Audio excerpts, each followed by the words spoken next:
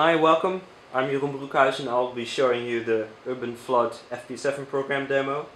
Uh, what we uh, have here is the Microsoft Surface table. It's a multi-touch table so I can I can use my hands and fingers to uh, operate it. Um, what you see here is a very basic map application. Um, so I can uh, go around the world and uh, zoom in. Currently we're in uh, Groningen here in the Netherlands and um, uh, what we've done is uh, added uh, a dike to the system and we've put sensors in the dike and put the dike online. So I'll be able to show the sensor data from this table through the internet. So if we zoom in to the location of where the dike is which is uh, here um, I can add the layer for the dike. And now you see it popping up here the green and red uh, parts of the dike. And uh, what I can do with the map is I can also change for example to satellite view.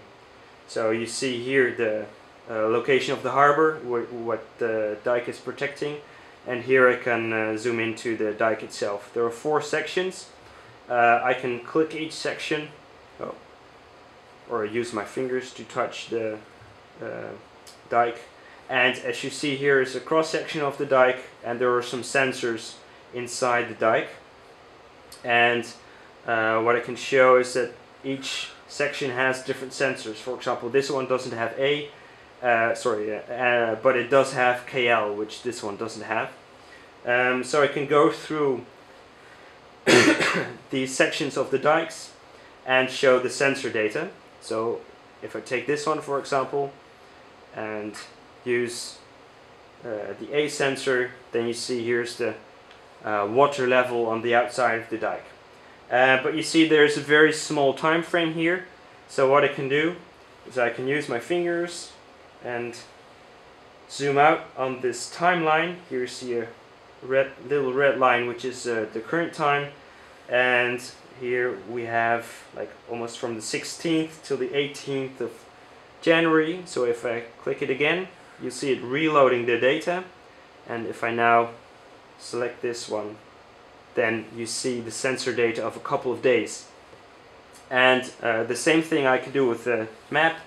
I can also do with my fingers using multi-touch and also zooming in on the sensor data itself. And what's interesting is um, to try and correlate this sensor data with other data from the dike so for example, I can drag this other sensor and see if there are any correlations between the data. And as you see, it's a steady rise here, which is the same as the rise here, and a drop here, which is also dropping here, and here it's rising again. So you clearly see a correlation between the two sensor values. Uh, what's also possible is, uh, as you see some coloring here, it's all green because dike is behaving normally. we have an AI currently trained on the data and I, this is the raw view, so the raw sensor view and I can change to an AI view where I can get AI um, uh, uh, data which is predicting the behavior of the dike. So if I take this sensor, here you see it's an anomaly probability.